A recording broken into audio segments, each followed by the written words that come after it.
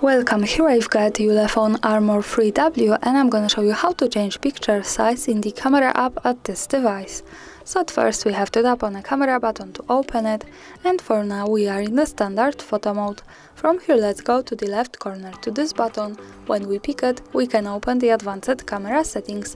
At the first position we have the picture size option so let's tap here and now we can manage the quality of the picture in megapixels connected with aspect ratio and the size and this is how to change it here. Now let me focus on aspect ratio because this is the difference we can see by our eyes in the camera app. We are in 4 and 3 ratio, let's pick 18 and 9. And let's go back to the camera preview. Now we can see that this is the full camera frame, so the background has changed to the full one.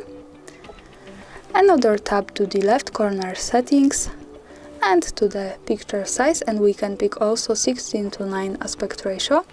And in the camera preview we can see that this is the shorter one. And also when we tap here once again to the left corner and to the picture size we can uh, go back to 4 and 3 the original one so to remind you this is how it looks like.